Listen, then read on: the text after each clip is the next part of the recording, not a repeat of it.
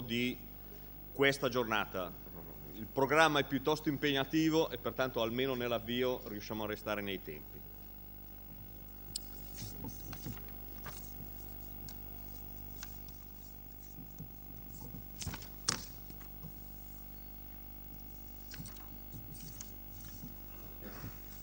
Perfetto. Allora, innanzitutto un saluto, un saluto a tutti, veramente di, veramente di, cuore da parte di noi tutti. Mi presento eh, perché avrete forse cominciato già a comprendere che non sono l'assessore Viviana Beccalossi, qualche cosa ve lo potrebbe avere suggerito. Purtroppo i nostri assessori, così come il presidente di, di Ispra, hanno avuto dei problemi e non sono riusciti a essere presenti qui eh, oggi. Però con piacere e anche ovviamente come dovere di, di ospitalità, evidentemente i migliori saluti e il ringraziamento per essere con noi qua oggi. Allora, diciamo che poiché anche ho qualche minuto di più, questo mi permette di non vi annoierò, sarò sicuramente molto breve, però anche qualche annotazione di dettaglio. Una prima, una prima cosa per, per, avviarci, oggi evidentemente titolo, programma, lo comprendiamo bene, si tratta dell'evento conclusivo di un progetto europeo, lo vediamo citato là in alto, là in alto a destra. Io lo sottolineo perché questo siamo nella fase proprio di chiusura della programmazione, a questo punto possiamo dire precedente, si sta avviando la nuova, la nuova programmazione mi sembra, insomma lo commenteremo in, durante tutta la giornata, però che i risultati eh, finali eh, di questo progetto a carattere transnazionale, lo vediamo bene tra tutti i loghi, siano stati particolarmente interessanti ed importanti. Diciamo che è un, una, una, dire, un frutto non solo importante e interessante, ma anche da rappresentare come esempio di quelli che possono essere eh, obiettivi da raggiungere, da percorrere attraverso questi programmi forse un po' difficili da gestire, a volte anche con dei passaggi burocratici lunghi e complessi ai quali siamo poco abituati, ma che quando riescono ad arrivare a risultati concreti, utili non solo al progetto, ma in particolare alle istituzioni e alla collettività, ecco, io penso che hanno, in questo caso, l'obiettivo è centrato al 100%. Siamo di fronte evidentemente ad un programma che si è avviato qualche anno fa, ho già detto siamo nella fase, conclusiva, nella fase conclusiva, un programma, lo vedete bene, progetto transnazionale, spazio alpino, con tutta una serie di partner stranieri, diciamo così, di altre regioni e ovviamente con dei partner importanti a livello italiano. Come in tutti gli interventi di saluto, ho il piacere adesso solo per qualche attimo di ricordarli. Di ricordare i partner, diciamo così, istituzionali principali, quindi la Regione Emilia-Romagna, ISPRA, Regione Lombardia. Diciamo, permettetemi solo, come possiamo dire, una, non una battuta, però con sorriso, a dimostrazione che quando le istituzioni centrali e regionali condividono un obiettivo sono anche in grado, anzi io penso nella maggior parte dei casi, quasi sempre, di poter raggiungere dei risultati tecnici, tecnici e scientifici come in questo grado addirittura di eccellenza. Ovviamente articolazione all'interno delle nostre due regioni, anche di Ispra, soggetto particolarmente, come possiamo dire, eh, importante nelle articolazioni specifiche e quindi da parte di Regione Lombardia l'assessorato al territorio, oggi qua conoscete certamente tanti colleghi, così come sostanzialmente l'omologo eh, servizio presso Regione Emilia-Romagna, dicevo prima, eh, l'ho, l'ho, l'ho fatto poco bene, diciamo, oggi avrebbero dovuto essere qui con noi, avrebbero voluto essere qui con noi l'assessore Beccalossi per la Lombardia, l'assessore Gazzolo per la regione Emilia-Romagna, deleghe non esattamente combacianti in generale, ma che però condividono la, le deleghe che relativamente esattamente alla difesa del suolo e al territorio. Tra l'altro, inciso, ma solo per ricordarlo, che si ritrovano almeno in questa tornata, ambedue nel comitato di indirizzo di AIPO. Non c'entra assolutamente niente con la materia di oggi, però la ricordo solo come una delle poche, pochissime, io in verità mi ricordo solo quelle, agenzie nelle quali operativamente collaborano fin dall'inizio delle leggi istitutive le regioni insieme. Dicevo, quindi i dipartimenti che si occupano di questa materia delle due regioni, il dipartimento specifico, specifico che si occupa da parte di ISPRA di questa, di questa materia e il Servizio Geologico Italiano. Ovviamente un tema perché eh, eh, diciamo Geomol, come poter dire, ha delle caratteristiche, non ne parlerò, ne accennerò velocissimamente perché avete veramente tante relazioni interessanti da ascoltare oggi, però diciamo tema mh, spesso e consistente dal punto di vista tecnico-scientifico non poteva che appoggiarsi anche a un, chiamiamolo ad un parterre di istituti di ricerca di eh, soggetti dell'università particolarmente, particolarmente consistenti. Quindi l'Istituto Nazionale Geofisica e Vulcanologia, il CNR con due istituti diversi, ICAG e I,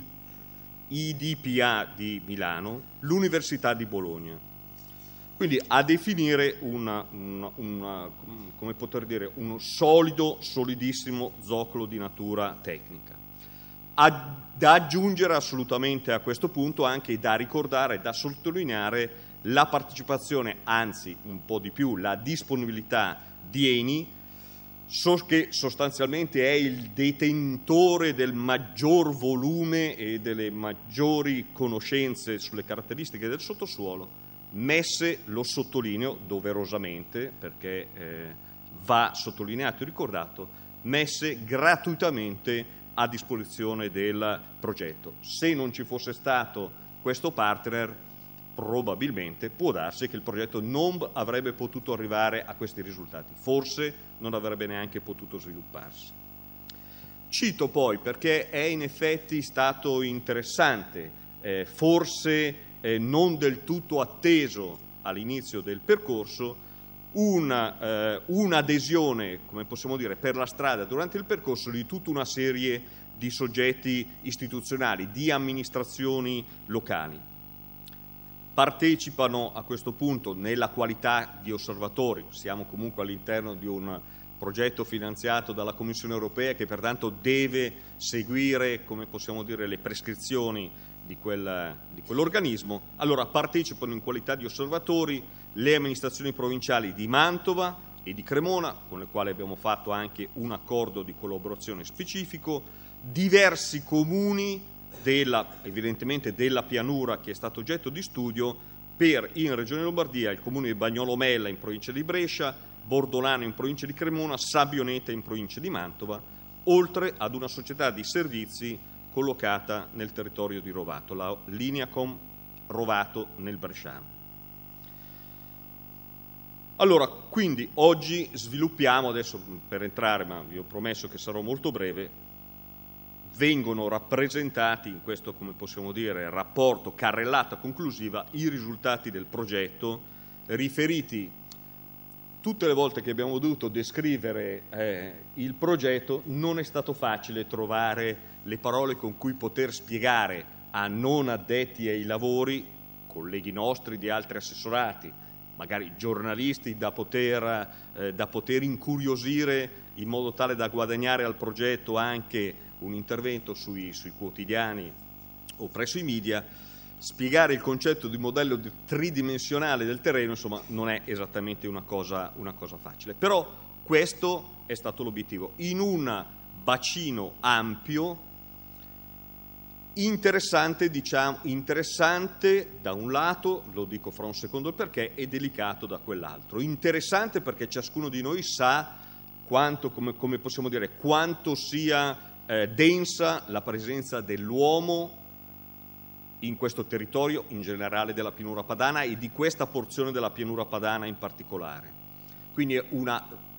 elevata, importante presenza antropica. Mi permetto di aggiungere, tutte cose che peraltro conosciamo e per, di conseguenza condividiamo, anche una importante, importantissima presenza di attività economiche, quindi da un lato una, eh, una importante pre- presenza antropica, dall'altra un'importante presenza di attività produttive divise nelle varie attività, però ho detto importante da un lato e delicato dall'altro, certamente delicato dall'altro,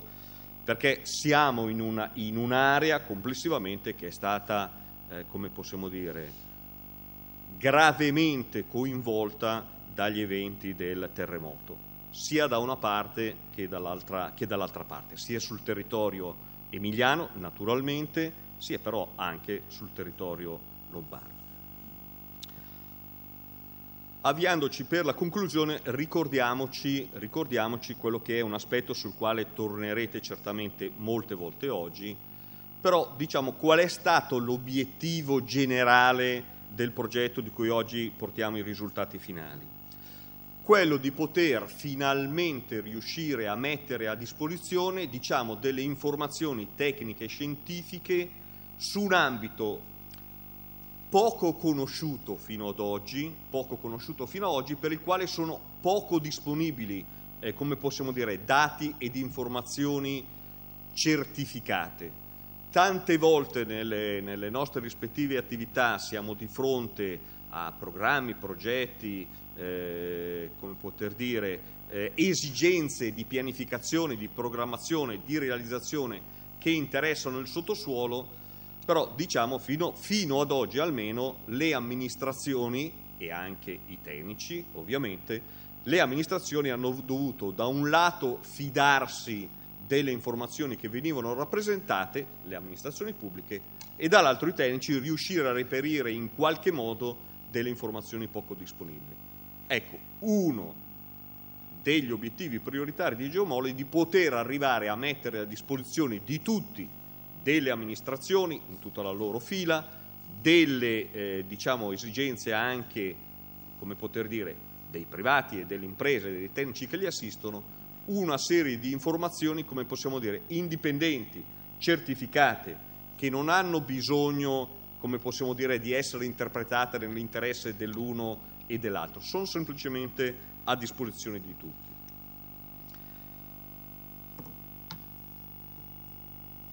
diciamo, eh, diciamo anche che in parte, in una parte abbastanza consistente, la disponibilità di queste informazioni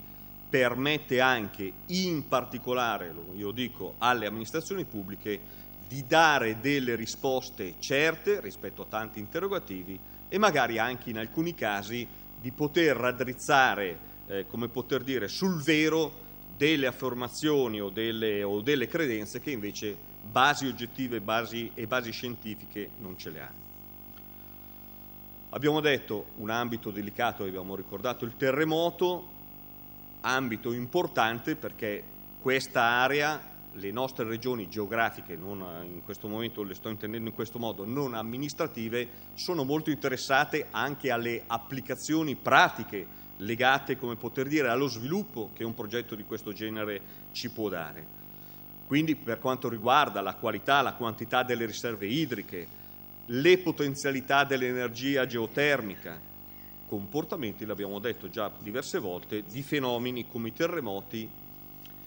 che tutti ricordiamo nel nostro ambito, nel nostro ambito, nell'ambito della pianura, ci hanno colto obiettivamente, come poter dire,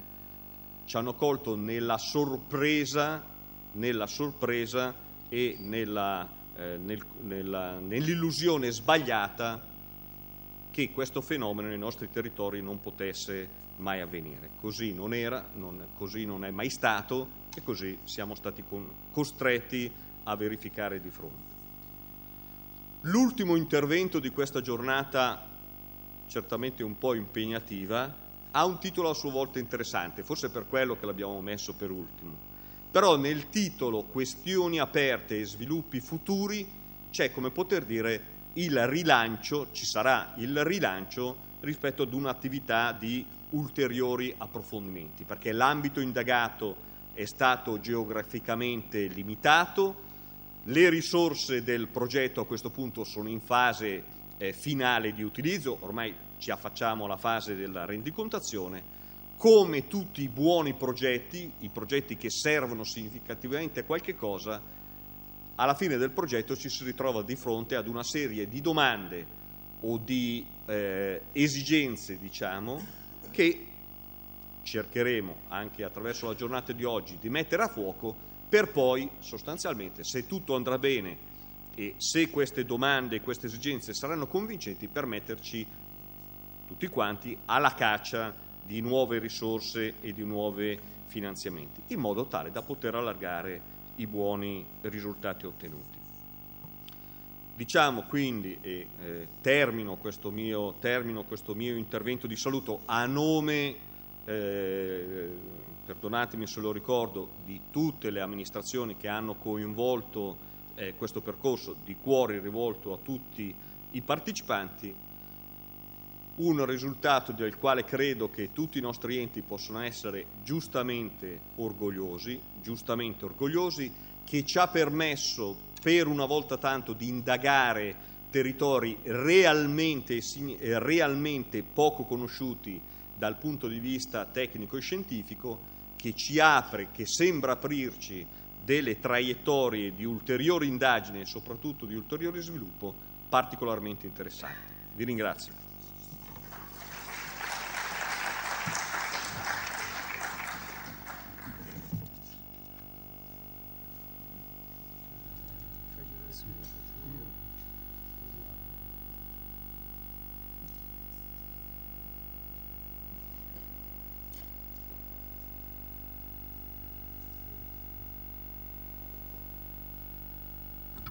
Eccoci.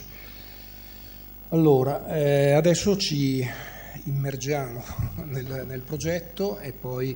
eh, pian piano a diversi livelli di approfondimento cominciamo a vederne anche i risultati. Il mio compito è quello di, eh, di fare una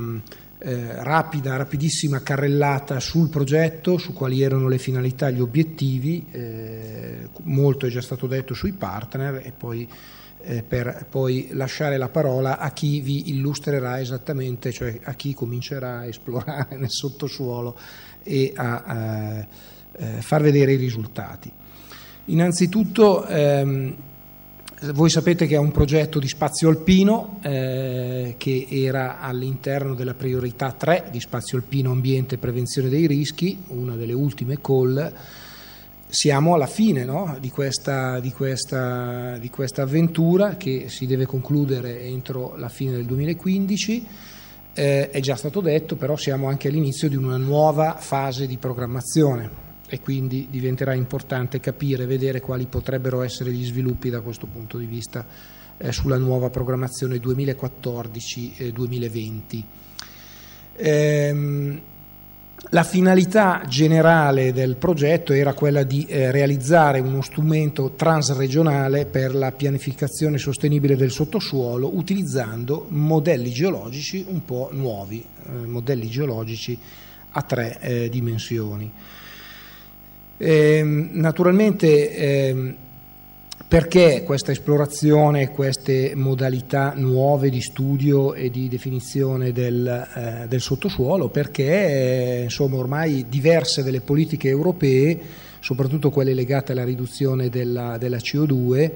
richiedono evidentemente di eh, aumentare la produzione di energie rinnovabili, renderla eh, più efficiente e sviluppare capacità di accumulare l'energia in rete. Questo ha, trova subito un'applicazione nei cosiddetti eh, bacini eh, molassici, il geomol eh, significa eh, la geologia di questi bacini oltre Alpe e eh, all'interno della pianura padana, in particolare delle molasse,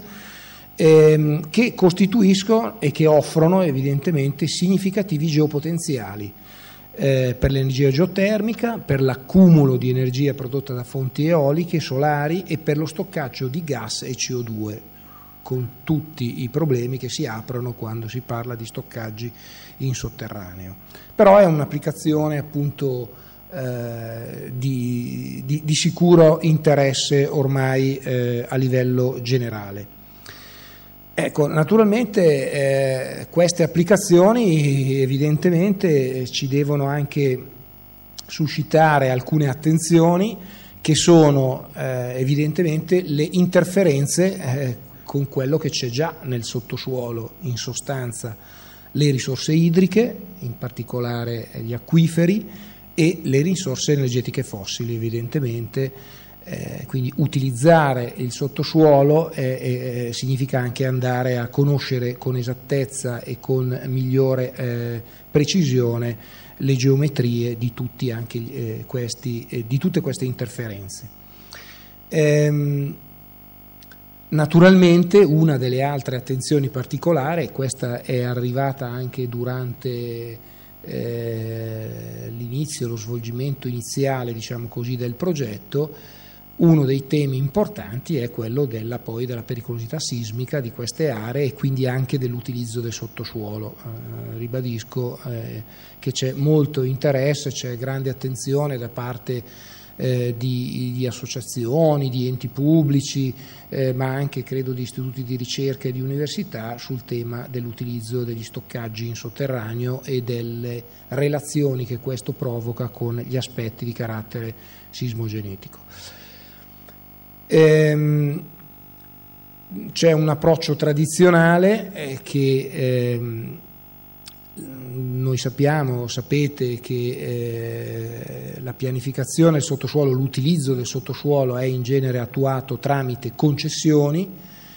eh, che vengono delimitate evidentemente arealmente in superficie e eh, spesso, come dire, eh, sono collegate anche per forza di cose eh, con i limiti amministrativi di chi deve gestire questi, eh, queste risorse e queste eh, concessioni. Ma eh, sappiamo ben tutti che poi fino a che punto ci si debba spingere, cioè sappiamo, uno dei problemi è che le concessioni pur dovendo rispettare dei limiti amministrativi delle, degli ambiti areali, nel sottosuolo non è poi così sempre chiaro fino a dove devono spingersi, come devono spingersi, quali sono anche tutte le implicazioni eh, connesse con le concessioni stesse e con eh, gli aspetti di carattere anche giuridico qualche volta eh, del, ehm, degli utilizzi in sottosuolo. Eh, sappiamo anche bene tutti che eh, sia le risorse del sottosuolo che i rischi che ne eh, che derivano dallo sfruttamento di queste risorse non rispettano assolutamente i confini amministrativi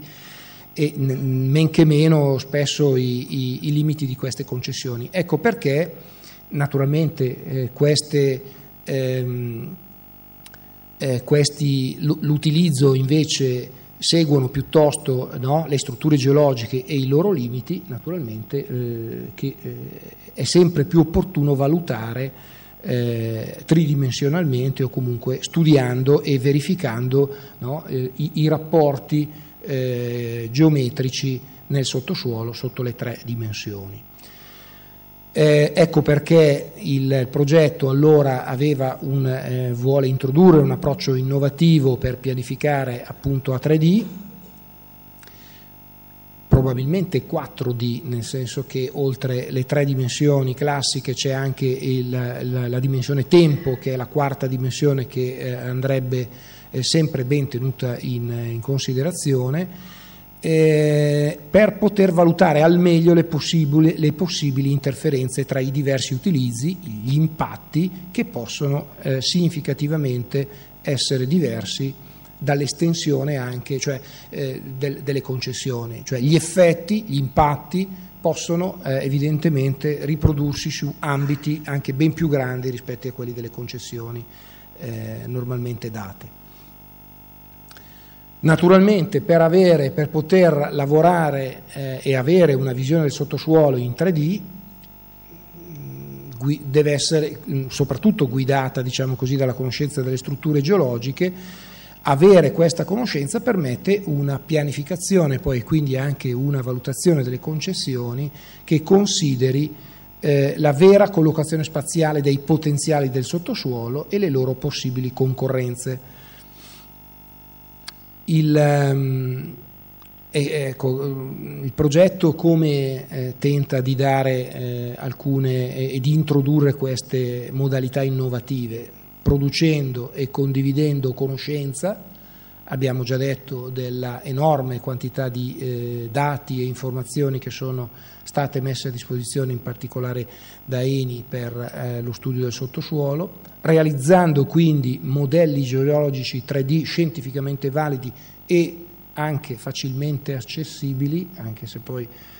il facilmente accessibili andrebbe un attimo mh, eh, spiegato e, chiaramente eh, lavorando anche insieme pubblica amministrazione, operatori economici, ricercatori, università, cittadini per una pianificazione più eh, diciamo così, sostenibile da una parte ma anche più condivisa. E quindi eh, una eh, io dico, trasparenza anche maggiore di che, eh, quelli che sono i prerequisiti delle, eh, che poi conducono a, a, rilasciare delle concessioni importanti. Andiamo avanti. È già stato detto, però mh, vado via molto velocemente, 14 partner nel progetto, eh, vari, eh, pubbliche amministrazioni, servizi geologici nazionali, regionali eh, di sei paesi, il, la regione capofila la Baviera con poi oltre 40 che abbiamo chiamato osservatori. Non sto a leggerli tutti, ma andiamo avanti. L'area pilota,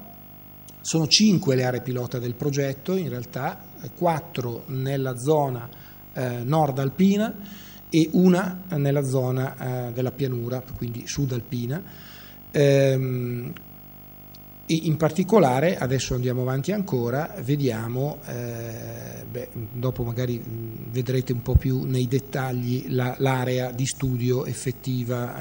eh, dei partner italiani e del gruppo italiano, che sono poi eh, stati, che sono questi eh, che vedete eh, citati, il Servizio Geologico d'Italia con ISPRA, la regione eh, Emilia-Romagna e la regione Lombardia. Andiamo avanti. Ecco, dicevamo prima che ci sono stati vari accordi operativi per poter accedere e acquisire eh, i dati, ma anche per poterli elaborare, anche per poter eh, dire, effettuare quegli approfondimenti di carattere geologico, ma non solo geologico, anche informatico in alcuni casi, per eh, poter rappresentare eh, tutta la mole dei dati messi a disposizione. Abbiamo già detto di Eni SPA Exploration and Production che eh, ringraziamo per appunto la quantità di materiale messo a disposizione, i vari CNR di Roma e eh, l'INGV e anche quello di Milano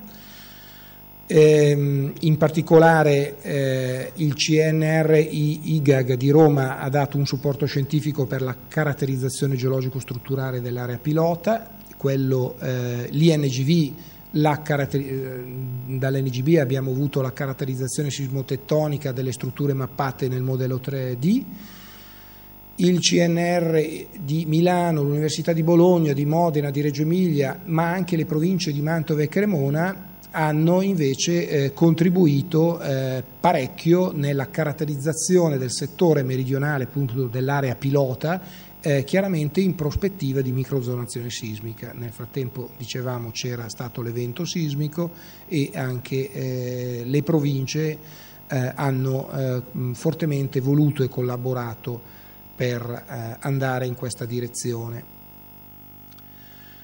gli osservatori eh, sono appunto questi che vedete qui segnati, mm, non li sto chiaramente a leggere tutto, però eh, abbiamo detto, riteniamo assolutamente importante e utile che tra gli osservatori ci siano non solo i CNR e le università, ma addirittura una regione e anche eh, diverse amministrazioni comunali,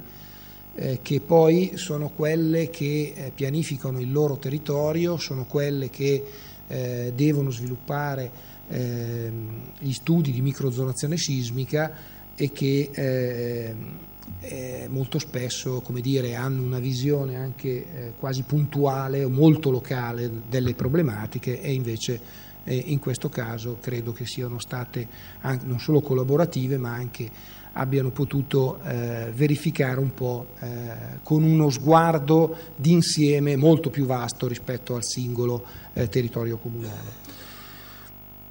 Eccola qua un po' più in dettaglio l'area pilota che è stata studiata, sono quasi 5.500 km quadrati,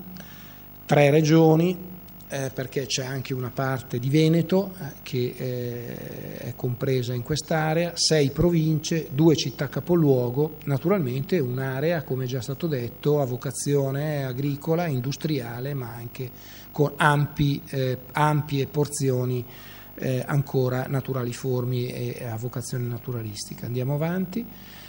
Eh, dicevo, eh, un'area ehm, molto complicata, qui abbiamo scritto compressa tra gli Appennini e le Alpi. Eh, un'area appunto che forse, beh, sicuramente molto studiata eh, nel passato, soprattutto da Eni per la ricerca petrolifera, eccetera, eh, tornata molto alla ribalta eh, anche per gli aspetti di carattere eh, sismico eh, recentemente. Questa è, se ricordo bene, la carta geologica, mm, eh, è un modello strutturale, sì, giusto. E eh, che eh, colloca eh, quest'area che sostanzialmente va dal margine alpino, dalla zona eh, della provincia di Brescia eh, alpina, tutta la pianura diciamo così bresciana, una buona parte della pianura cremonese fino al margine appenninico e quindi eh, nelle province di Modena e e Ferrara, no, Reggio, Reggio. Niente, adesso mi fermo qua, eh, l'inquadramento mi sembra che sia più che sufficiente, adesso entriamo nel merito, proviamo a immergerci in, queste, in questa pianura con, come dice il convegno, con un occhio esperto per vedere eh, i risultati eh, più importanti del progetto. Allora, io invito eh, a venire al tavolo e, eh, mm, i, diversi relatori. Naturalmente parte eh, il eh, professor Giovanni Muttoni, eccolo, dell'Università di Milano, che ci farà l'inquadramento geologico un po' più dettagliato rispetto a quanto fatto io per eh, definire bene l'area, l'area pilota italiana.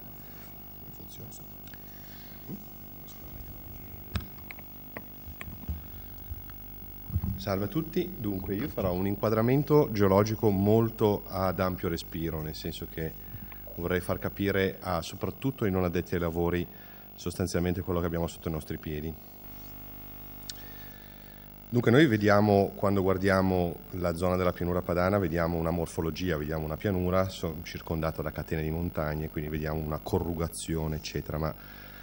forse non ci rendiamo conto di tutta la storia che c'è dietro a questa morfologia, sia in termini proprio di geologia a lungo termine, nei milioni di anni, centinaia di milioni di anni che hanno, sono trascorsi, sono registrati nelle rocce, sia anche per quanto riguarda la nostra vita quotidiana, eh, che è determinata anche dai processi naturali che hanno origine a lunghissimo termine. Quindi io farò una, mh, proprio un excursus generico su quella che è la storia geologica a lungo termine di quest'area, soprattutto per far comprendere la complessità di tutto quello che ci circonda, che affonda le proprie origini appunto nei, nella storia geologica. Noi abbiamo un'area pilota che è ricchissima di eh, risorse naturali, paesaggistiche, come è stato appena detto, e anche di complessità, che la complessità è una ricchezza, che si manifesta anche in processi geologici che ci toccano direttamente, eh, quindi terremoti, eccetera. Eh, che è studiata, è stata studiata nel corso degli anni da eh, generazioni di geologi, naturalisti, ingegneri, eccetera, eccetera, e che quindi da questo punto di vista può essere ritenuta unica al mondo, eh, una delle regioni più note, più studiate e eh, più dinamicamente attive e quindi continuamente mutanti, mutevoli eh, della, del, io direi dell'intero pianeta, se vogliamo. Ora noi appunto come diciamo, non addetti ai lavori siamo abituati a percepire il paesaggio un po' in questo modo, questa è un'immagine presa dalla capanna Brioschi in vetta alla griglia settentrionale della pianura padana con tutte le luci eh, dell'area metropolitana di Milano, vediamo una morfologia, vediamo qualcosa che è bello anche, ma i geologi invece vedono magari eh, una, una struttura, quella sotto vedete è una classica immagine eh, della struttura geologica del gruppo delle grigne, quindi delle, mh, dei calcari, delle rocce deformate, piegate, eh, sovrapposte in una struttura a domino, come si dice, con piani di scorrimento, eccetera, eccetera. Quindi sono occhi diversi, quelli eh, diciamo del cittadino, se vogliamo, comune, o del, rispetto al geologo, che è un tecnico. Ecco qui ah, si apre un po' la distinzione eh, generica, ge- generale, che è il geologo. Il geologo è colui che non soltanto è chiamato a certificare se una faglia è attiva e, o a definire se una roccia è un buon eh, contenitore di eh, petrolio o gas, e quindi non è soltanto colui che opera utilizza informazioni geologiche eh, operando nel quotidiano, se vogliamo, che è fondamentale ma è anche colui che comprende perché è una faglia attiva, perché conosce tutta la storia geologica della, della regione a partire da appunto centinaia di milioni di anni fa. E ci sono due tipi di geologi essenzialmente, i geologi che vanno eh, a studiare le catene montane perché in, nelle catene montane trovano affioramenti, quindi possono vedere le rocce in affioramento e studiarne la successione come in questa immagine della presolana con i vari calcari triassici sovrapposti alle facce sbacinali del Triassico medio, oppure ci sono i geologi di eh, pianura, tra virgolette, cioè coloro che non hanno la possibilità di vedere le rocce eh, davanti a loro esposte e devono per forza andare a bucare per poter recuperare la stratigrafia. Ora la cosa bella per la pianura padana è che le due figure sono strettamente legate perché fondamentalmente quello che noi vediamo affiorare nelle prealpi o anche negli Appennini è quello che abbiamo sotto i nostri piedi, quindi noi possiamo studiare l'affiorante per farci un'idea e quindi prevedere cosa potremmo trovare in caso di perforazione nel mezzo della pianura padana. Quindi le due cose sono molto legate. Poi un'altra cosa che volevo dire è che appunto i geologi, soprattutto i geologi che in ambito stratigrafico, utilizzano tutte queste informazioni per ricostruire queste sequenze di rocce che tutti gli addetti ai lavori conoscono bene, che sono note come eh, schema dei rapporti stratigrafici, dove le successioni delle varie rocce affioranti o perforate sono organizzate nel tempo. E questo è il classico schema dei rapporti stratigrafici del 2000 di Giadulla e Forcella per quanto riguarda il Triassico, Giurassico e Cretacico, a cui gli studi, soprattutto in pianura e anche geomol, quindi ha eh, diciamo, sviluppato soprattutto nel recente con uno schema di rapporti stratigrafici più dettagliato per quanto riguarda il Pliocene e il Pleistocene, cioè gli ultimi circa 5 milioni di anni. Quello che volevo dire è che i geologi poi vedono queste rocce stratigrafiche o anche altri tipi di rocce, per carità io sono stratigrafo per cui tendenzialmente per me le rocce sono stratigrafiche, sono sedimentari. Sono tra l'altro anche di origini diciamo, prealpine, per cui per me le montagne sono a nord, la pianura a sud e viceversa è impossibile, quindi quando vanno in Appennino ho sempre un po' di difficoltà a capire dove è il nord e il sud guardando le montagne. Ma questo vabbè, dettaglio. Eh, ognuno guarda le rocce stratigrafiche, le rocce in generale, a seconda del proprio background, cioè la propria preparazione. Uno stratigrafo di, di preparazione sedimentologica guarda un calcare guardando i processi che, hanno, che l'hanno generato, quindi i processi sedimentologici, eccetera, gli ambienti sedimentari. Un altro li può guardare da, dal punto di vista temporale, cioè utilizza tecniche varie, fisiche o chimiche o biologiche per riuscire a capire l'età della roccia Altri, come sottoscritto, per esempio, sono, diciamo, tra virgolette, ossessionati dalla la sua, la mia ossessione quella di capire eh, dove quella roccia, quell'ambiente si è formato in termini di latitudine, utilizzando una tecnica di studio che è nota come paleomagnetismo. Utilizzando questa tecnica di studio uno può comprendere se una determinata roccia si è formata a una certa latitudine, mh, rispetto quindi eh, all'asse di rotazione, e comprendere se ehm, la generale architettura di un'area può essere ricondotta alla posizione che quel bacino sulla placca eh, occupava al momento della formazione. Vi faccio un esempio banale, il petrolio, il carbone si formano preferenzialmente all'equatore perché all'equatore ci sono le condizioni di eh, formazione di ingenti quantità di materia organica che poi si possono preservare nei bacini sedimentari, mentre in aree tropicali, per esempio, dominano processi eolici, per esempio aridi, clima arido e quindi le grandi successioni di arenarie eoliche continentali. Ora, studiando la posizione delle placche nel tempo e ehm, la loro posizione rispetto alle fasce climatiche zonali, uno può ricostruire la storia evolutiva, la grande architettura, la grande struttura della eh, stratigrafica di un'area, è quello che sostanzialmente di cui io mi occupo. Avevo un bel filmino sul movimento delle placche che non posso farvi vedere per questioni tecniche, però sappiamo che le placche si spostano, si spostano anche a velocità apprezzabili che possono superare i 10 cm all'anno. E noi possiamo utilizzare quindi questo eh, accoppiamento tra posizione delle placche e tipologia di ambiente sedimentario per comprendere la stratigrafia e l'architettura generale di un'area, cosa che è molto facile, molto, facile, molto ben applicabile per l'area per esempio prealpina. Per esempio, vado veloce, il Triassico è il periodo delle piattaforme carbonatiche, dove dominano i calcari di Jesio, la dolomia principale, eccetera. È il periodo in cui la, eh, diciamo, la, generale paleogeografia del mondo prevedeva che l'area alpina fosse, stazionasse a latitudini tropicali, circa 30 gradi latitudine nord, nel mezzo della fascia climatica arida tropicale, che è perfettamente compatibile con gli ambienti sedimentari che vediamo, le piattaforme carbonatiche che tipicamente anche oggigiorno occupano le fasce tropicali. Dopodiché abbiamo il Giurassico, che è il grande periodo dell'apertura, della formazione dell'Oceano Ligure Piemontese da noi, che è una sostanziale prosecuzione dell'Oceano Atlantico eh, centrale, l'apertura, quindi la, lo sprofondamento, la subsidenza, la formazione delle sequenze bacinali che occupano l'area prealpina e sono presenti anche in sottosuolo. Per esempio abbiamo le formazioni eh, del calcare della, della formazione di Sogno, eh, le radiolariti, i rossodaptici, che sono le sequenze bacinali di età giurassico medio superiore molto note e studiate. Ora la cosa bella è che se guardate questa sequenza di eh, evoluzione della, di Pangea dell'area, eh, ve la faccio rivedere, no, non posso tornare indietro, vabbè,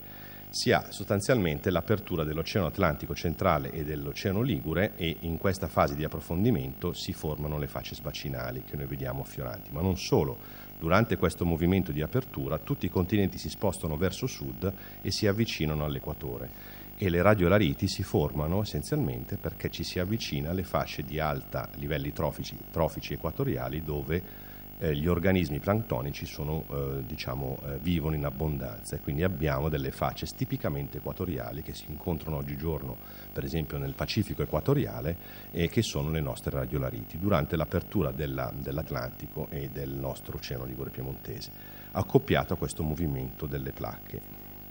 Poi abbiamo il Cretacico, che è l'epoca diciamo, della chiusura di questo oceano, come sappiamo, abbiamo sostanzialmente la formazione di varie sequenze che troviamo, ripeto, anche in sottosuolo, a partire dalla maiolica, evolvendo all'interno dei flish, quindi di arenarie tipicamente legate a processi di convergenza, e quindi abbiamo le varie unità silicoclastiche affioranti al margine della pianura che adesso mh, conosciamo abbastanza in dettaglio. E la cosa molto bella che si può ricondurre in questo diciamo, inizio della chiusura dell'oceano al movimento generale delle placche nella fattispecie se date un'occhiata al limite tra, Europa, tra Africa e Sud America eh, scusate, vedete l'apertura dell'Atlantico meridionale e questo comporta una rotazione antioraria di tutta Africa con Adria attaccata che chiude a nord l'Oceano Ligure Piemontese iniziando eh, la convergenza, la subduzione e la distruzione dell'oceano, quindi la formazione dei flish prima e poi della catena collisionale per come la vediamo. Quindi io ho sempre quest'occhio diciamo paleogeografico che è riconducibile poi in sezioni a lungo termine come questa che sono quelle che usano più i geologi, ma che forse non sono molto intuitive da, per un pubblico di non addetti, dove abbiamo la storia della convergenza, della chiusura dell'Oceano Ligure Piemontese dal Cretacico in avanti, prima la formazione del cuneo crezionale con tutta la storia dei flish e poi il contatto continente-continente e la strutturazione della catena prealpina e prealpina durante il Cenozoico, da partire dall'Eocene attraverso l'Oligomiocene e il Pliocene giorni nostri. a me piace collegare queste diciamo, sezioni stratigrafiche mm, un po' rigide, se vogliamo, eh, ha una storia dinamica di movimento delle placche, come ho cercato di farvi vedere, per arrivare appunto alla strutturazione, quindi ci ricolleghiamo alla slide iniziale, la catena per come il geologo la vede, il risultato di questa storia di movimento di placche, aperture, chiusure di oceani e convergenza e deformazione, apertura, convergenza e deformazione per arrivare alla situazione eh, diciamo, attuale, o quantomeno quella a partire de, dal, dall'oligomiocene in avanti, che vede eh, una seconda diciamo, evento tettonico e geologico molto importante, che è soprattutto legato all'evoluzione questa volta dell'Appennino settentrionale, non tanto dell'area alpina o prealpina, che è la rotazione del blocco sardo-corso, ovvero il fatto che ehm, il, diciamo, il, pezzo di crosta continentale che comprende l'attuale Corsica e Sardegna erano collocate prima dell'Oligocene eh, e durante tutto il periodo mesozoico-paleozoico attaccate al bordo eh, orientale della Francia, il, il Golfo del Leone, e do, durante l'Oligomiocene hanno subito una rotazione anteoraria di circa 35 gradi eh, con la formazione dell'Oceano Balearico a Tergo e questa rotazione anteoraria ha prodotto la deformazione di tutta la regione a est del blocco sardo-corso che è poi quella che noi conosciamo come catena eh, dell'Appennino settentrionale. Studiata da colleghi molto prima di me e in maniera molto più dettagliata di me, eh, ma comunque sappiamo che c'è una sostanziale eh, correlazione tra la rotazione del blocco sardo-corso e l'apertura del Balearico, la subduzione a ovest vergente di quell'oceano ligure piemontese rimasto eh, sopravvissuto alla convergenza alpina con eh, formazione di una struttura a catene a falde con le unità oceaniche delle Liguri che vanno in sovrapposizione alle unità continentali del margine eh, di Adria eh, con sovrapposte, interposte le eh, proprie avanfosse in una struttura che noi abbiamo ben presente essere più o meno di questo tipo che è quella che ho appena eh, descritto e quindi noi abbiamo sostanzialmente un'area eh, padana eh, che è il risultato unico, se vogliamo, nel mondo di processi geologici che eh, sono essenzialmente legati all'apertura dell'Oceano Atlantico, la rotazione della placca africana, la convergenza e chiusura di un oceano ligure piemontese formato durante il Giurassico eh, medio e inferiore medio, medio diciamo, eh, la rotazione di un blocco crostale e la conseguente rollback della, della litosfera oceanica sopravvissuta con deformazione eh, eh, est vergente eh, nella, nell'area dell'Appennino settentrionale, insomma una storia estremamente complessa, estremamente affascinante che ci porta ad avere una struttura ehm, di questo tipo con la pianura padana che è l'incontro delle falde eh, sudalpine che eh, migrano verso sud e ehm, nord appenniniche che migrano verso est, quindi diciamo, è la regione di incontro di questi sistemi deformazionali, ma soprattutto quello che noi conta, per noi conta sempre ricordare, cioè in una veste di geologo che parla anche con la gente, è che questo processo è la punta di un iceberg, cioè questo processo è tuttora in atto, quindi noi vediamo nelle pieghe ferraresi eh, la, che sono attive, come vedete dall'immagine, come non ben sappiamo, tutta una la, la, la, diciamo, manifestazione attuale di tutto questo processo che affonda eh, nell'evoluzione geologica a lungo termine e che ha origini eh, anche al di fuori, soprattutto al di fuori della catena, cioè nel grande movimento geometria delle placche litosferiche nel, negli ultimi, diciamo, se vogliamo, 200 milioni di anni. Poi c'è tutta la storia pleistocenica, che è un'altra cosa che mi ha affascinato e di cui mi sono occupato negli ultimi anni, cioè tutta questa struttura deformativa è stata poi fortemente modellata dagli agenti diciamo, esogeni a partire soprattutto da circa un milione di anni fa, quando è iniziata la grande fase di raffreddamento del Pleistocene con lo stadio isotopico 22 più o meno a 900 um, 870.000 anni, con l'inizio delle grandi fasi glaciali, quindi con l'arrivo dei ghiacciai per la prima volta che sbordano sul margine del, dal margine sudalpino e arrivano in pianura, arrivano in Brianza, arrivano fino a formare l'anfiteatro del Garda e ritirandosi avanzando un numero considerevole di volte che più o meno è quella, eh, sono le volte che la curva del delta 18 eh, fluttua,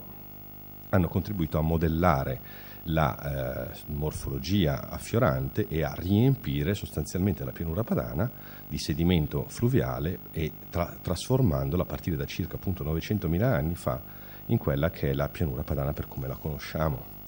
Pianura padana, appunto come questa immagine illustra, legata appunto a dove il mare arrivava fino a prima del MIS 22 circa la longitudine di, di Lef di Mantova, se vogliamo, e dopo il MIS 22 uh, si attesta alla longitudine quasi, quasi, a quella attuale, legata sostanzialmente al riempimento che la pianura uh, padana ha subito da parte dei sistemi fluviali, soprattutto in, durante le maggiori fasi glaciali fredde e di basso eostatico in corrispondenza delle quali i fiumi aumentavano fortemente il loro potere erosivo, trasportando tutto il materiale in pianura e quella che era il golfo delle balene plioceniche dell'argilla azzurra si trasforma in una pianura continentale, fluvio, eh, fluviale continentale. Tra l'altro inducendo probabilmente anche un uplift isostatico in catena. quindi da questo articolo che aveva questo termine, questa, eh, questa, questo titolo molto bello di Kent, Rio, Massari e Kukla che è recentemente scomparso e Luca Lanci, eh, abbiamo che la pianura padana diventa continentale per la prima volta da 200 milioni di anni a partire da, mm, adesso non ricordo bene quale stadio isotopico, però poche centinaia di migliaia di anni fa. E quindi molto si parla della, del fatto che Venezia va sott'acqua, in realtà è emersa dalle acque per la prima volta poche centinaia di migliaia di anni fa. E con questo chiudo mia, il mio excursus e mi scuso se è stato banale per gli addetti ai lavori, ma insomma. No, no, ci mancherebbe, grazie.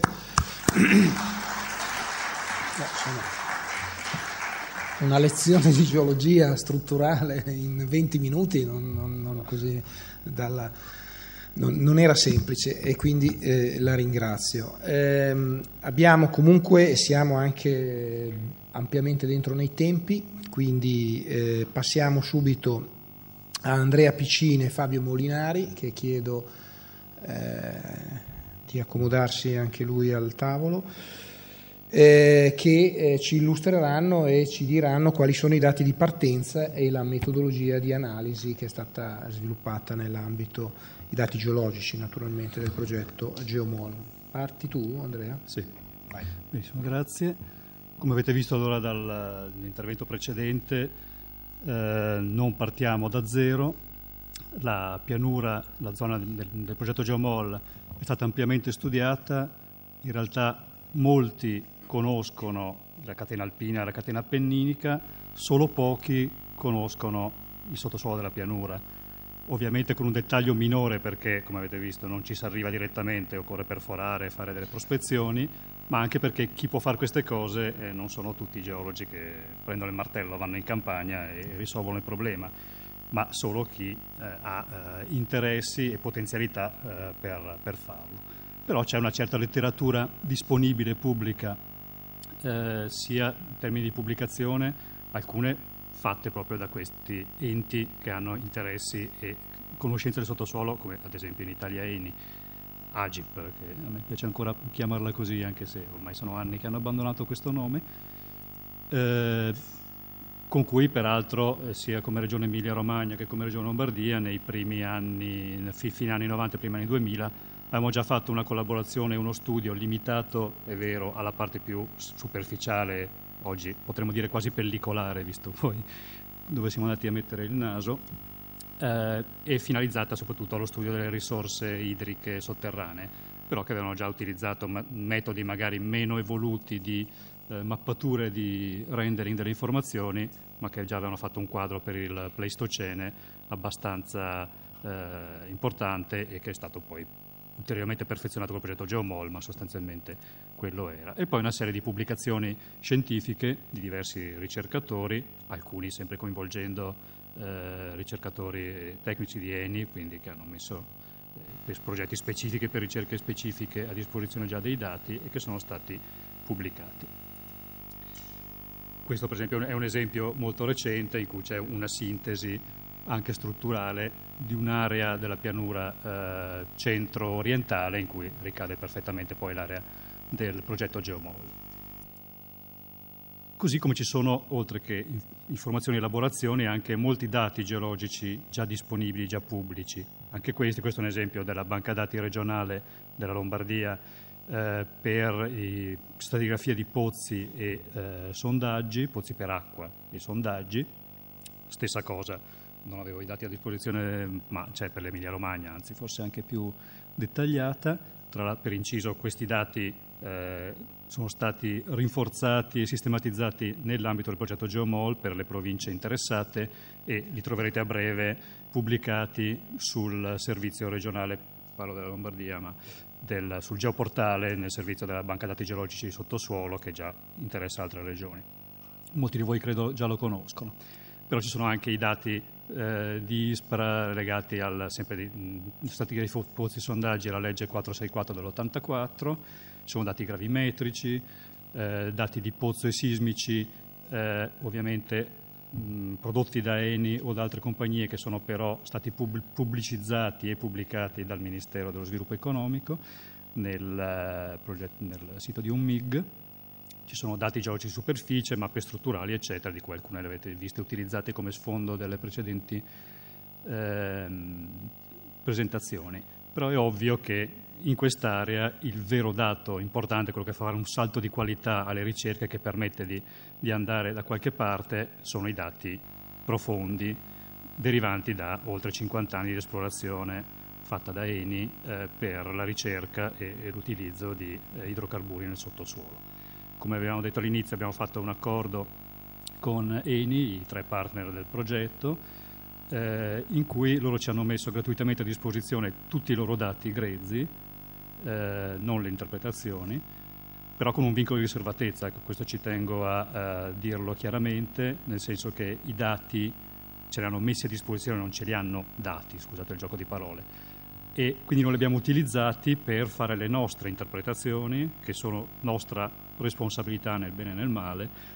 e, e poi noi mettiamo a disposizione, vi faremo vedere e, e, pubblichiamo le nostre interpretazioni, perché il dato geologico, il dato di Eni, è comunque una risorsa eh, strategica ed economica per Eni che da quando a fine anni 90 è stata liberalizzata la pianura padana che prima era di esclusiva Eni, quindi altre compagnie possono entrare e, ad esplorare ma anche a, eh, a sfruttare le, le, risorse, è ovviamente diventato una, una, risorsa economica perché viene in qualche modo eh, gestita venduta o comunque può, avere problemi. Quindi noi abbiamo, ecco, vale la pena di ribadirlo, questo vincolo di riservatezza che abbiamo sottoscritto per il progetto Geomall, quindi quello che vi facciamo vedere, a parte qualche esempio, giusto per capire su cosa abbiamo lavorato poi ve lo facciamo vedere, sono le nostre elaborazioni. Però, come vedete, la densità in particolare in quest'area di dati, queste sono le tracce delle linee sismiche, è molto eh, importante, sono, abbiamo eh, caricato in questo dataset, ci hanno caricato 807 linee per un totale di 12.200 km di linea, più 126 pozzi eh, selezionati, non tutti quelli che ci sono, ma quelli più rappresentativi, quelli che poi che servivano per, per lavorare. Quindi ho rappresentati solo alcuni, solo quelli pubblici, ma ce ne sono altri che abbiamo utilizzato.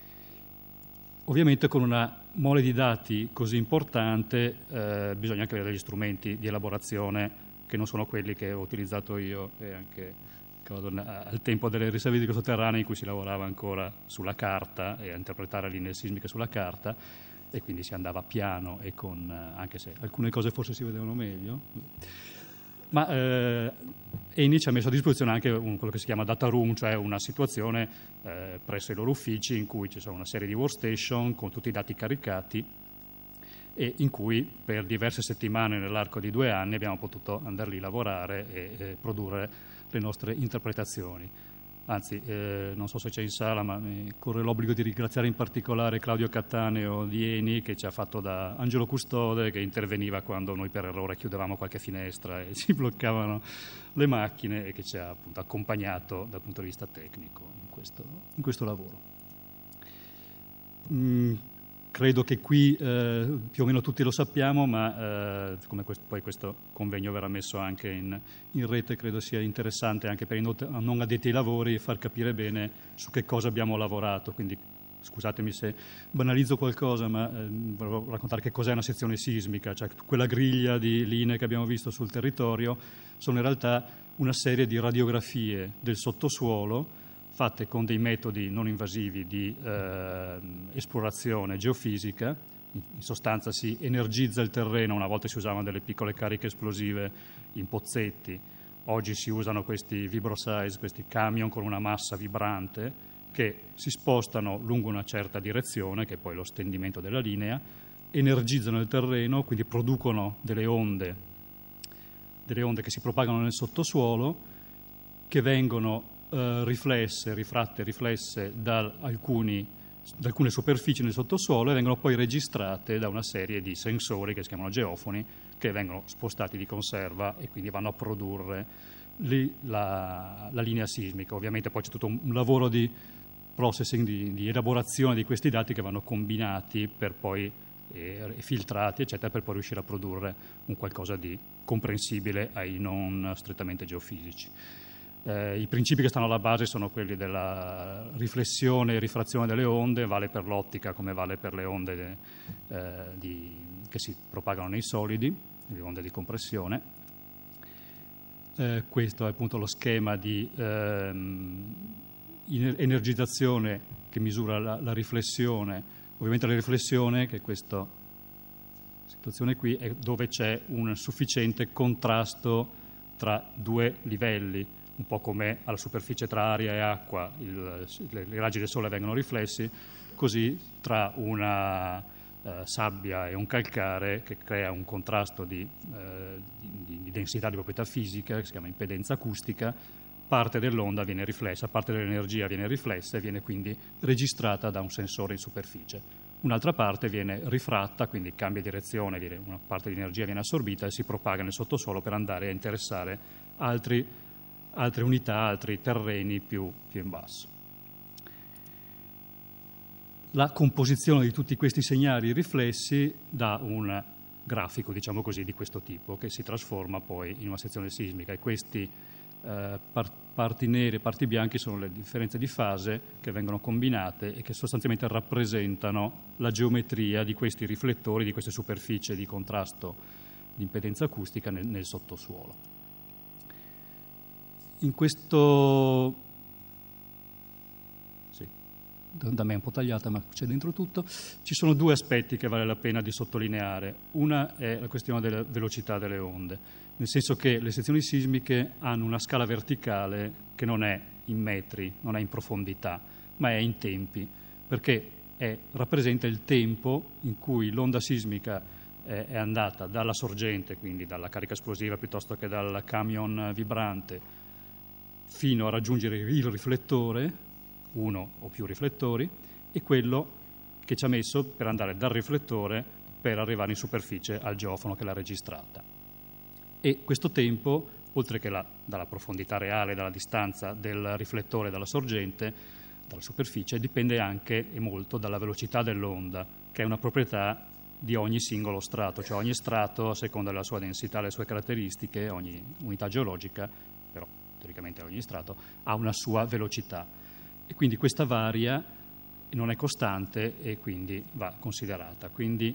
eh, questo poi vedremo eh, ci porta a una necessità di elaborazioni particolari per arrivare a una, quello che, che, assomiglia a una sezione geologica in cui c'è in orizzontale la, la distanza tra i punti e in verticale la profondità. L'altra questione da sottolineare è quella della risoluzione di una linea. La risoluzione è il dettaglio di una linea sismica, quindi in qualche modo la sua qualità eh, un punto di vista di che cosa si riesce ad apprezzare ed è la distanza minima tra due strati che producono una riflessione. Quindi vediamo solo le riflessioni, quindi solo gli strati che sono in grado di, eh, o i contrasti che sono in grado di produrre riflessioni e vediamo solo quelli che stanno a una distanza minima che dipende eh, molto dalle caratteristiche della sorgente, quindi soprattutto dalla lunghezza d'onda dell'onda che, ener- che energizza il terreno, quindi in sostanza dalla, uh, dalla, frequenza. Onde corte, cioè ad alta frequenza, uh, consentono una maggiore risoluzione, cioè riescono a discriminare di più nel sottosuolo. E poi dipende anche dall'assorbimento della, di energia che man mano che l'onda scende in profondità, quindi più si va in profondità, più la, la risoluzione tende comunque a diminuire e comunque predisponendo eh, l'apparecchiatura e di, registra- di, energizzazione e di registrazione e quindi i parametri della sezione di acquisizione si può, in funzione dell'obiettivo che si va a cercare, decidere anche un po' che tipo di risoluzione si vuole. Noi abbiamo lavorato su sezioni sismiche industriali fatte per obiettivi a profondità di diversi chilometri, quindi con una risoluzione che ci aspettiamo dell'ordine di qualche decina di metri, diciamo 20-30 metri, quindi vediamo oggetti che hanno uno spessore o comunque riflettori che hanno una distanza superiore a quella. Non possiamo su quelle sezioni sismiche pretendere di spaccare il capello con uh, i vari straterelli. Se si vuole fare così bisogna fare delle altro tipo di, di acquisizioni con delle sezioni sismiche mirate ad obiettivi più superficiali che vanno allora in dettaglio e con altre eh, situazioni. Vabbè, molto velocemente, questa è la parte alta di una sezione in cui questi numeri 400, 450 eccetera sono gli shot point, cioè i punti in cui è stato energizzato il terreno, quindi è, i punti fissi, i riferimenti in cui si è creata la sezione. Questi qua sopra sono i nomi delle sezioni, avete visto che all'inizio che è una griglia di sezioni, quindi ci sono incroci che permettono di muoversi nelle due dimensioni, mentre nella scala verticale questi numeri 500.000 sono millisecondi, questo, quindi, questo 1000 corrisponde a un secondo, un secondo di tempo doppio. Questa è la griglia, qui poi è mappata anche la profondità di una delle superfici su cui stavamo lavorando. Ecco, questo è il, quello su cui si lavora, questo è un orizzonte nella parte alta, quindi c'è un dettaglio anche maggiore. In workstation, eh, sulla workstation in data room, con il software eh, di Eni, eh, si può con il mouse molto velocemente eh, marcare un orizzonte o più orizzonti con un certo colore codificato da noi per seguire delle superfici. Queste linee verticali sono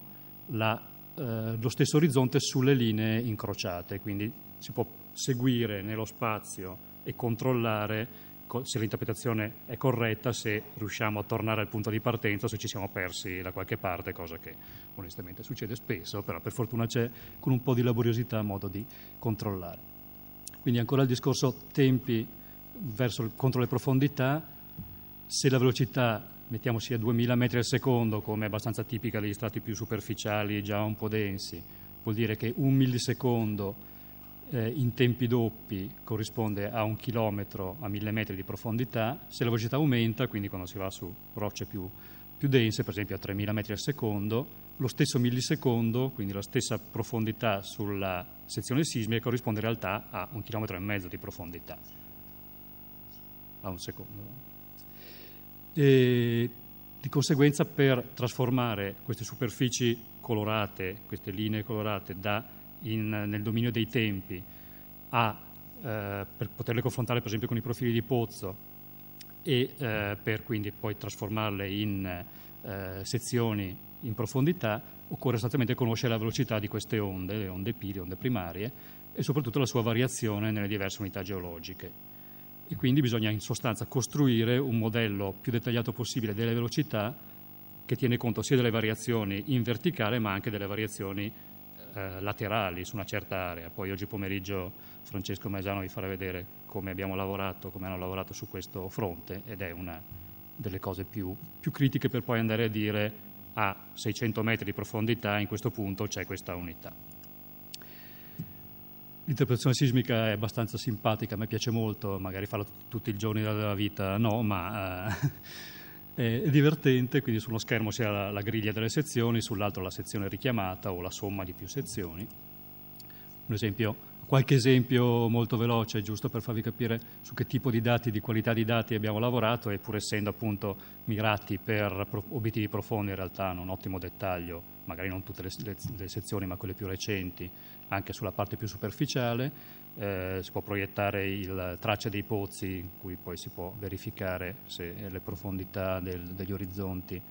sono cose e poi si interpretano, si interpretano gli orizzonti, si inserisce la, l'interpretazione delle strutture e si va a comporre un puzzle di queste, eh, di queste strutture. Qualche esempio, qualche situazione tipo, qui siamo per esempio nel margine alpino in zona bresciana, eh, questo è lo schema, quindi stiamo parlando della parte più alta della, della, sequenza che abbiamo indagato. E qui si vedono per esempio queste superfici, tra cui quella a 800.000 anni cui, su cui aveva messo l'accento prima Giovanni Muttoni, che vengono, risalgono verso la superficie, quindi vanno verso il margine alpino, vengono deformate, più, più in profondità, e questa è una, più in profondità ci sono cose interessanti come per esempio questi riflettori molto marcati che indicano un elevato contrasto di impedenza acustica che corrispondono a livelli grossolani conglomerati, sono le ghiaie di Serniano, che sono rimasti isolati dall'erosione successiva, dalla superficie di erosione successiva e poi sigillati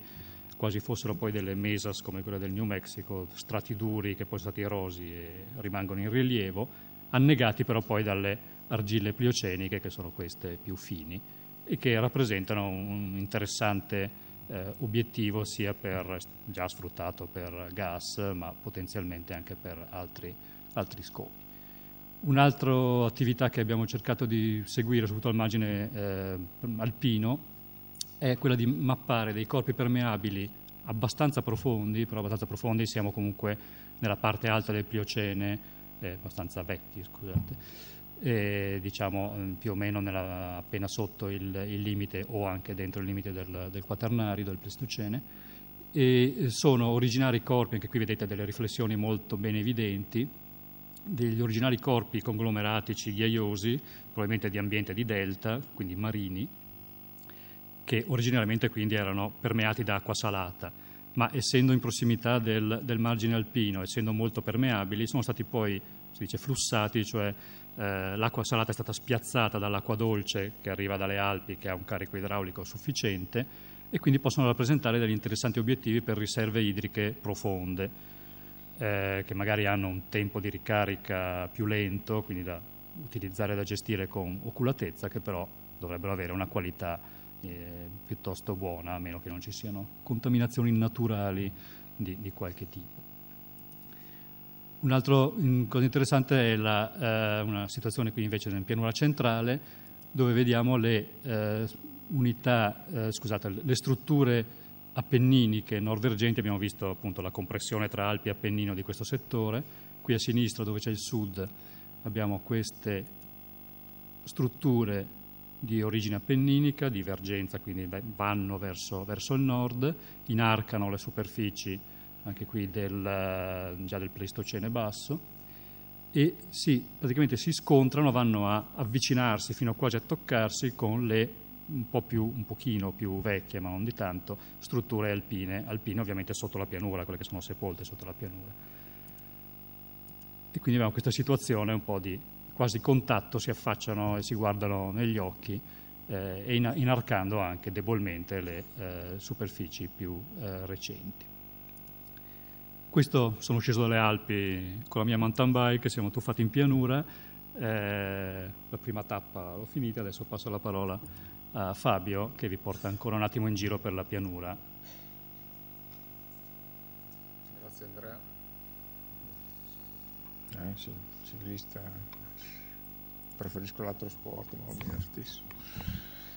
E, sì, eh, appunto queste proseguo diciamo, l'escursus eh, sul, sull'area più che altro emiliana della, della nostra area pilota. In, in questa, questo transetto che vedete è come ci si presentava la linea sismica chiaramente quando siamo arrivati in, in data room e vuole essere rappresentativo di un settore che eh, diciamo così, illustra la situazione in questa parte di bacino, quindi una situazione dove eh, diciamo, abbiamo una, la, la, presenza di forti dislocazioni legate alla, alla, presenza delle pieghe emiliane, alla formazione di, di un bacino pleistocenico eh, veramente con notevoli spessori, accumuli di, di tutta la successione pleopleistocenica e, ehm, e quindi eh, e anche la formazione di strutture più o meno incipienti nella parte, nella parte più settentrionale della linea, ci troviamo soprattutto in questo settore. Queste sono veramente diciamo, le, le, strutture più, che hanno di, di, neoformazione più recente al di sotto dei nostri, dei nostri piedi, di cui chiaramente noi non, non, vediamo tracce. In questa zona, ad esempio, siamo nella zona di, di Piadena eh, Solarolo. Eh, vedete che appunto, la, come diceva Andrea prima, cioè la, il fatto di poter interpretare, di avere la possibilità di incrociare, tutti, di, eh, di incrociare progressivamente eh, l'interpretazione e di portarcela dietro all'interno di questo network di sezioni sismiche ci consente, ci ha consentito di arrivare a un dettaglio interpretativo eh, direi buono, molto buono. E soprattutto ci ha consentito di di, di poter validare nel corso del tempo, nel corso delle settimane, man mano che andavamo presso il data room, le superfici che qui vedete colorate, che sono le superfici stratigrafiche o comunque sequenziali più rappresentative della nostra, della nostra area. Qui per, per darvi un'idea, nel, nel, settore di massima, diciamo, di massima profondità del bacino di Foredip possiamo arrivare anche a spessore di 7-8 km di profondità base, relativi alla base del, del, del, Pliocene. Questo è un altro settore eh, legato invece una, alla, alla, presenza delle, sempre di, di, trust, di pieghe e, e dislocazioni profonde al di, al di, sotto dei nostri piedi, eh, in questa zona che è molto più deformata e anche di, di, deformazione più recente, soprattutto datata Pliocene medio superiore fino ai giorni nostri, perché qui poi è, in questo settore c'è stato anche il terremoto, il terremoto dell'Emilia. Eh, anche in questa zona in cui è stato difficoltoso, diciamo, più difficoltoso seguire gli orizzonti e interpretare, interpretare gli stessi, vedete come appunto in questo settore ci siano dislocazioni, eh, queste sono le linee sismiche che ce le fanno vedere, molto molto importanti, ci sono lineamenti di, di, faglie, di faglie, sepolte, eh, diciamo che hanno estensioni veramente plurichilometriche e arrivano a diverse migliaia di, di chilometri di profondità che però siamo in parte riusciti, riusciti a seguire eh, attraverso il lavoro, appunto, il lavoro al, presso, presso, il data room. Eh, secondo me un altro aspetto importante è stato il fatto di apprezzare certi rigetti relativi alle faglie o, o di poter dare anche eh, certe interpretazioni, soprattutto mettendo insieme la conoscenza dei, dei, dei, dei rispettivi riflettori, quindi delle rispettive superfici che noi andavamo a mappare nel tempo. Quindi è, chiaro, è chiaro che arrivare con un quadro stratigrafico di dettaglio in questo, in questo settore, quindi già con un'interpretazione stratigrafica di un certo tipo, questo rende il lavoro, facilita il lavoro anche nell'interpretazione del, delle, degli aspetti diciamo, strutturali, quindi delle faglie. Scusate. Eh, questa è una, sempre un'altra sezione che è strike, è ortogonale rispetto a quella di prima, dove comunque vedete e, e si può comunque sempre apprezzare, queste linee rosse sostanzialmente sono appunto le, le, le, le dislocazioni, faglie, le faglie profonde, i riflettori, potete veramente diciamo, apprezzare come alcuni di questi riflettori vengano dislocati per diciamo, comunque migliaia di chilometri al di sotto dei nostri piedi. Quindi questo è per farvi vedere anche un po' in questo settore il, il dettaglio che eh, siamo riusciti a raggiungere a livello, a livello interpretativo. Un'ultima, un'ultima, diciamo,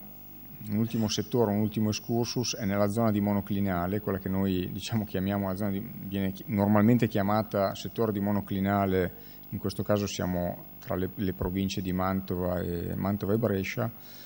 dove in questo settore eh, è un settore che eh, tettonicamente è praticamente indisturbato, cioè siamo in una zona dove non si hanno dislocazioni particolari, anzi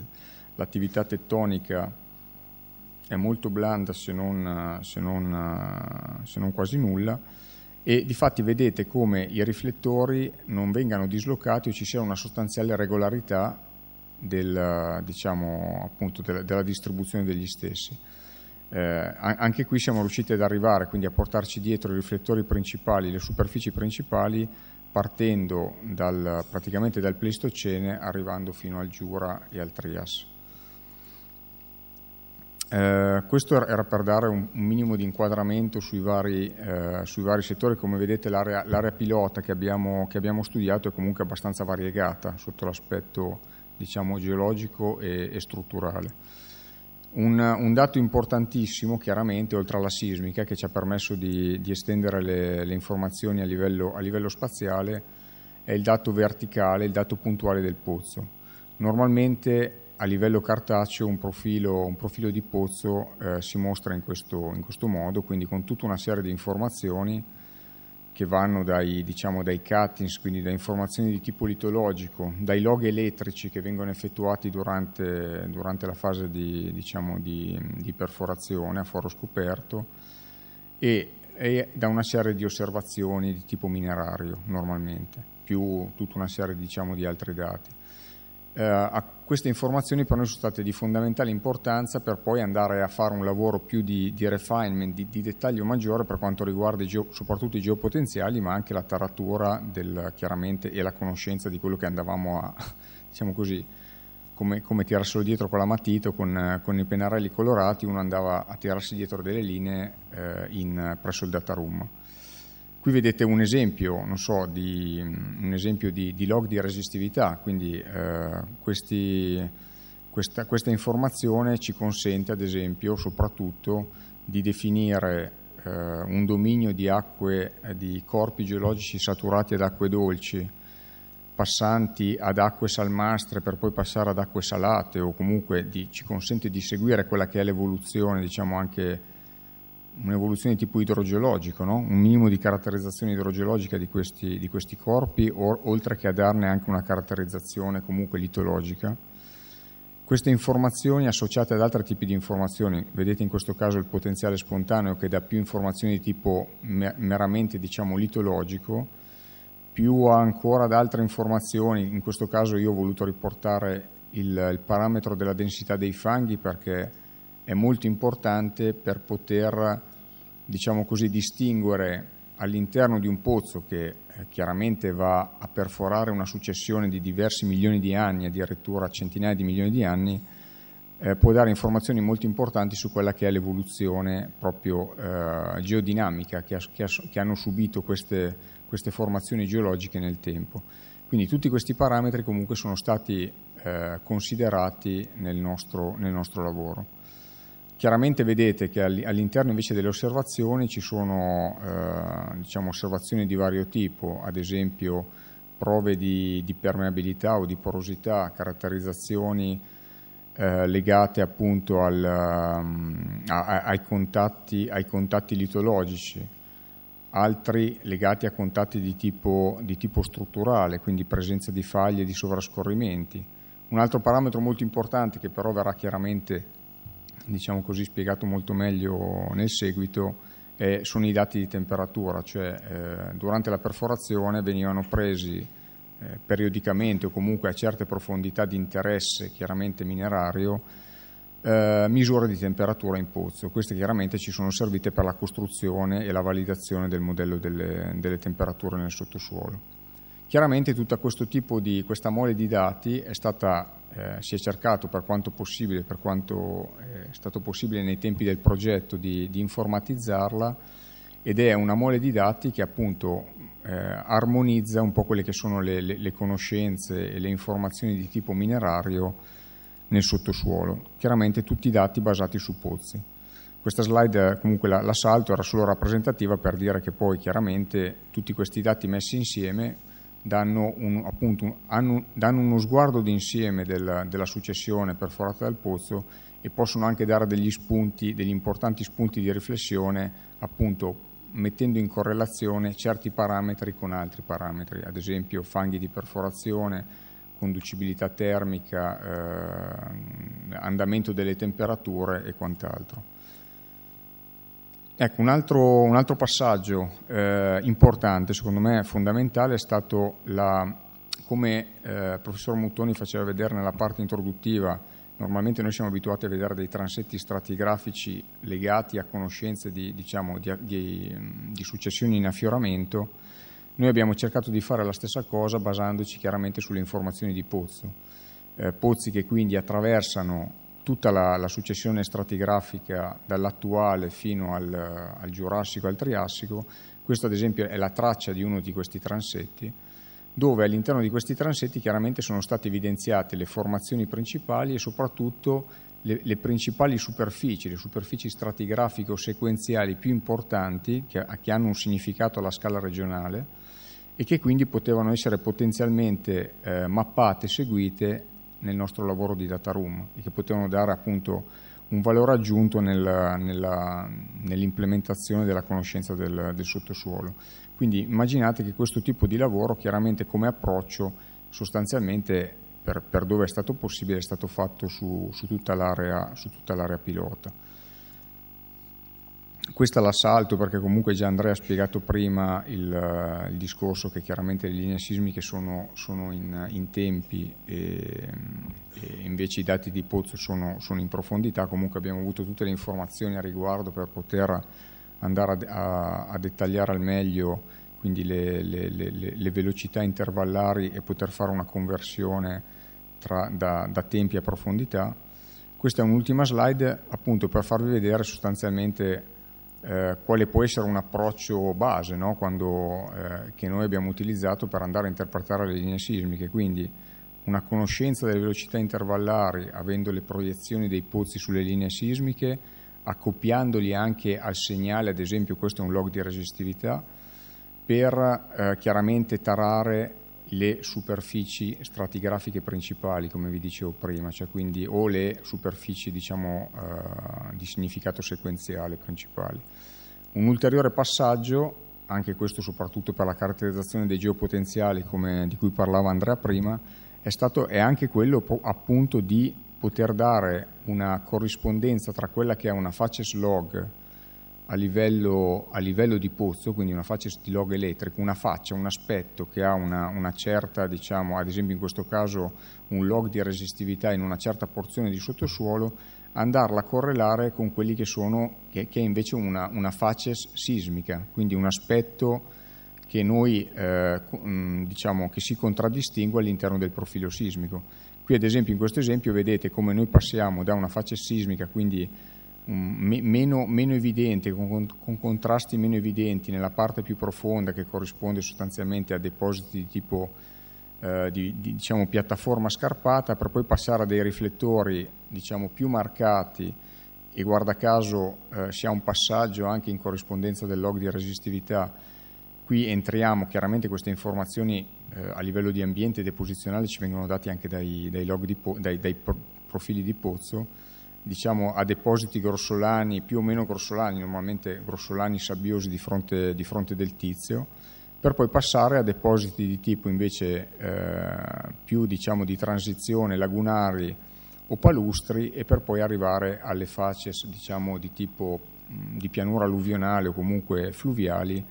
di, che fanno parte diciamo, dell'ultimo riempimento del, del nostro bacino padano. Ecco, questo era, era, appunto per dare un excursus, per cercare un po' di legare quelli che è stato il nostro lavoro al data room, che, stato, eh, che ha avuto appunto come obiettivo, oltre alla, la, la mappatura delle superfici, anche quella di, di, di poter dare una, una, caratterizzazione, di poter seguire dove ce n'era la possibilità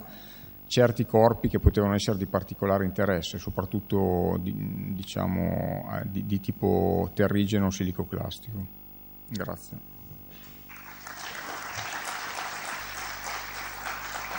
Grazie, grazie. Eh, come vedete ci stiamo se- sempre più avvicinando